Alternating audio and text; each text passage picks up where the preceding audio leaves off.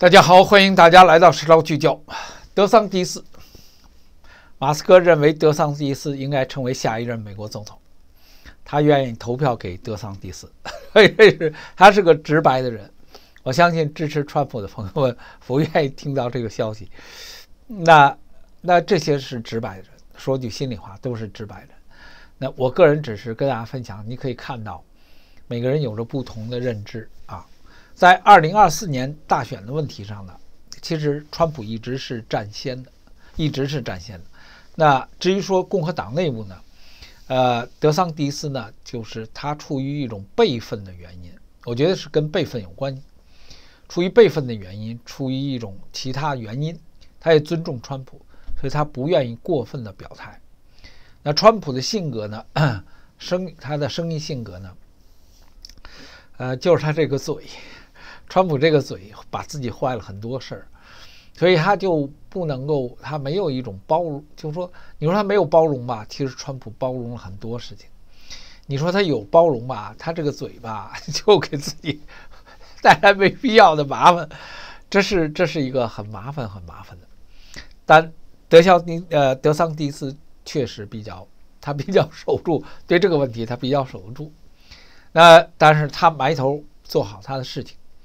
佛州跟德州在美国的整个各大州当中，它的它在民间的影响力，在国家影响力，这是这是显而易见的，啊，确实是显而易见。那马斯克呢？马斯克对川普本身多少他他们是有一些不是一个很很那个的。马斯克有自己独立的看法，所以这就为那些呃川普的支持者，我觉得。是有所思考吧？我觉得只能说有所思考。马斯克向呃刚才啊呃德桑迪斯敬致敬，希望是下一届的美国总统的候选人啊。他说，但是没有完全支持，他只是希望他成为。他在推特上，他在支持在南德州创造奇迹的候选人之后这么说，这就是我们刚才讲那个内容。呃，投票给了麦拉。第一次投票，巨大的洪波。他当时在线上被人追问到：“呃，在二零二零年、二零二四年美国总统选举的时候是谁？”他说：“德桑蒂斯。”他说：“我我上次支持了杨，那但是呢，德桑蒂斯获胜的机会更大。”所以这是推特，呃，这是推特记录了。他今天早上三点多，三点三十八，他不睡觉，所以我。我个人每天其实是帮助朋友们寻找马斯克的一些内容，但他往往是这么来的，所以这么来的话，我没那精力去一条一条找，那没那精力。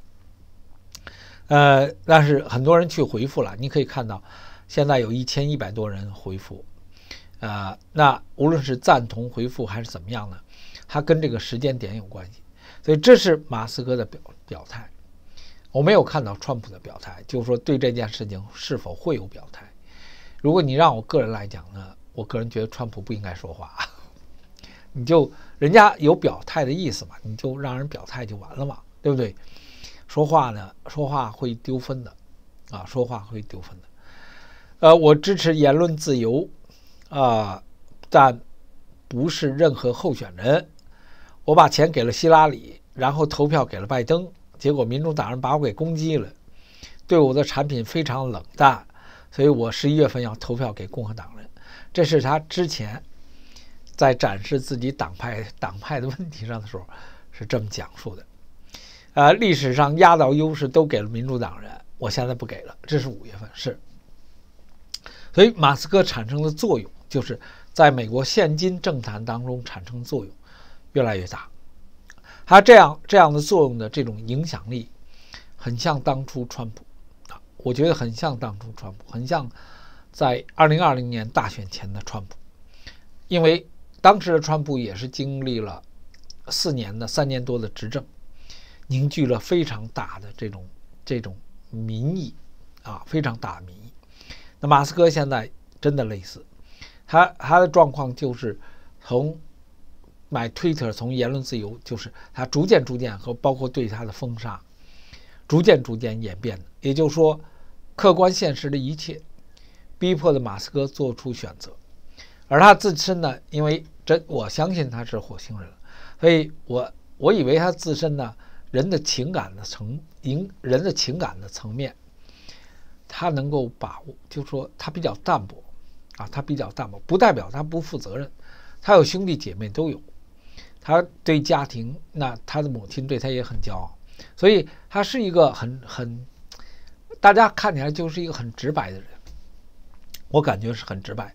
直白的原因就是说，他面对失败无所谓，面对利益无所谓。但是呢，你把我坑了，你觉得我觉得你不地道，我就跟你说不地道就完了。你非让我也骂你，骂你不骂你无所谓。所以他姿态，因为他比较释然，他姿态就比较高，他不会很少去针尖对麦芒的。你看他对话很少，他。大凡对他攻击的话语，他都是以嘲讽的方式。拜登攻击过他，嘲讽过他，说你坐着火箭上月亮，他非常感谢总统，您真是个人物啊！我操，怎么看您都是个人物。他他是这个态度，他不在其中。那你要换别人呢，就不是，就不是，他会会直截了当进攻的。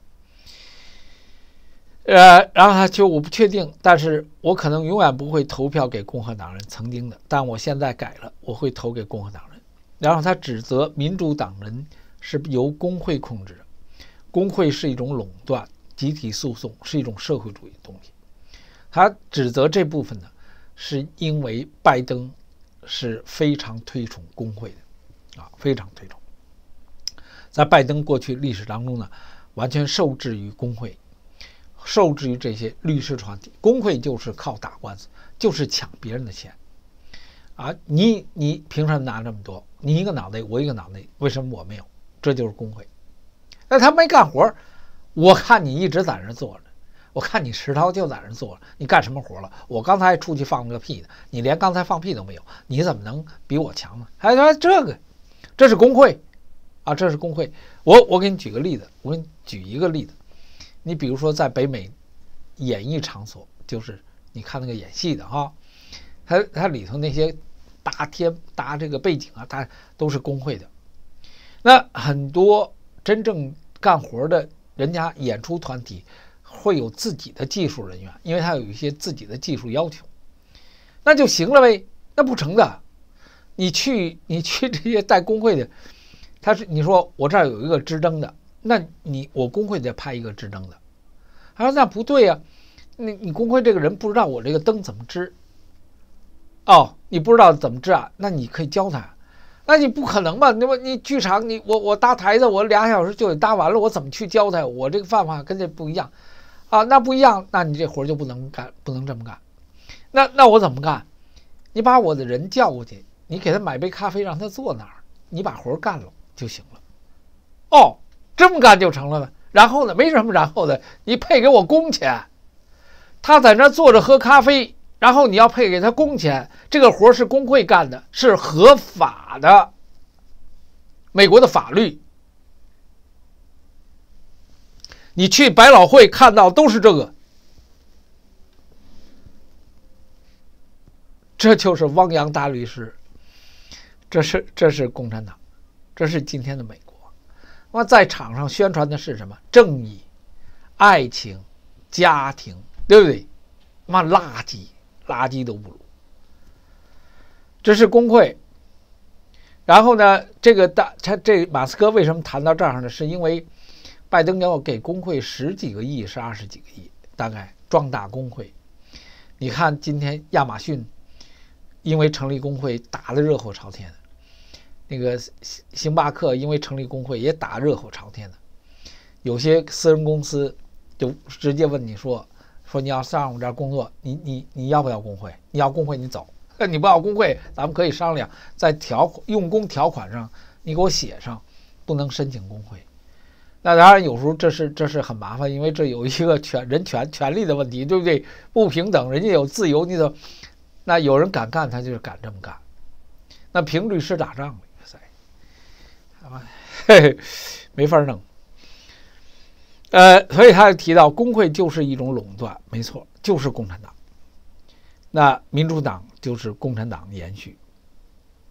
这就是为什么不给民主党了。他说过去我都给了民主党，当时他们很善良，现在他们不善良了，他们今天是分裂跟仇恨。